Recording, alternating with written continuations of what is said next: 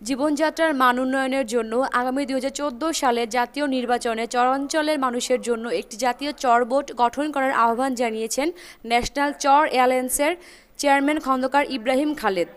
বৃহস্পতিবার সকালে Dhaka reporters unity সভাকক্ষে নির্বাচনী ইশতেহারে চরবাসীর দাবি আওতাভুক্তকরণ শীর্ষ সংবাদ সম্মেলনে তিনি এই আহ্বান জানান। এ সময় তিনি বলেন, বর্তমানে বাংলাদেশ খাদ্যে স্বয়ংসম্পূর্ণ। কোনো কৃষিজাত পণ্য বিদেশ থেকে আমদানি করতে হয় না। এর পেছনে নিরলসভাবে কাজ করে যাচ্ছে চরাঞ্চলে হতদরিদ্র, অসহায় মানুষ।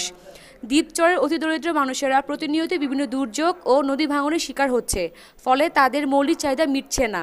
সংবাদ সম্মেলন থেকে জাতীয় চর বোর্ড গঠনের মাধ্যমে কৃষিতে আধুনিক প্রযুক্তির ব্যবহার, আত্মকর্মসংস্থানের সুযোগ সৃষ্টি, নারীর ক্ষমতায়ন, সামাজিক নিরাপত্তা কর্মসূচি ও কৃষিখাতকে অগ্রগণ্য এবং সুনির্দিষ্ট দ্বীপ চরাঞ্চলের ক্ষেত্রে দুর্যোগ, জলবায়ু পরিবর্তন, অসমতা, নারী সহিংসতা এইচআইভি এইডসের ঝুঁকি ও নাজুকতা হ্রাসকরণের জন্য কর্মসূচি গ্রহণের আহ্বান জানানো হয়।